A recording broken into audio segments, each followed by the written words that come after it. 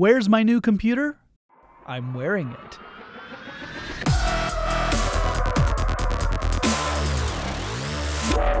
Forward Thinking attended CES 2015, the consumer electronics trade show that's all about incorporating the tech of tomorrow into the products of today. What did we discover while we were there?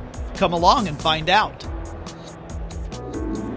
You know, just a couple of years ago, the term wearables was really more of a buzzword than anything else, but now it's a full fledged industry. Now, we should probably start where wearables had their first major success, and that's in fitness and health. That's why I'm next to Wahoo Fitness's booth. They have a new product, the TICKR X. It's a sensor you wear on your chest and it can track everything from your exercises like jumping jacks and push ups to your running style to even judging the intensity of your workout to make sure you're getting the most of the time you're putting in. Beyond that, we're seeing more wristbands coming out, such as the InBody wristbands. These can tell you everything from your activity level to your heart rate to your percentage of body fat. But we also have seen this work its way into fabric itself with companies like the Mingyang Biomedical Corporation. We talked to the inventor who created these cool shirts that actually have sensors woven into the fabric itself. Other companies are doing similar things. Sensoria has this amazing pair of socks that pairs with an ankle sensor that connects with magnets. It tells you how you're running, whether you're striking your heel too hard on the ground, letting you know how to correct bad behaviors before you result in injury or just a bad run. Now, beyond fitness, we're seeing wearables everywhere. For example, there's the Narrative Clip 2. It's a clip-on camera that makes sure you never miss that photographic opportunity.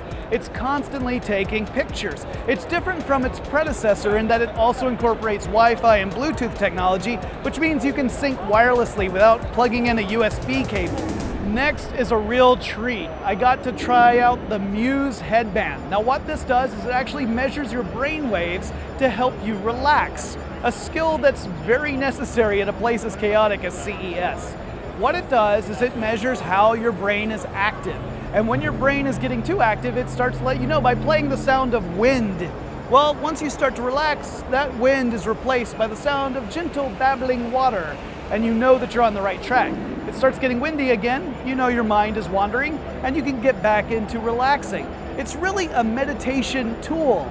And believe it or not, relaxation is a learned behavior, and I need all the practice I can get.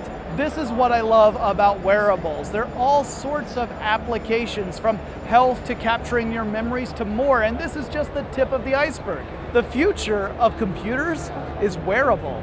So I've got a question for you. Who are you wearing? What does it do? No, but seriously, where do you think wearable computers are going next? I want to hear your thoughts in the comments below. If you enjoyed this video, make sure you hit like, subscribe to our channel, and then check out these other great videos right over here.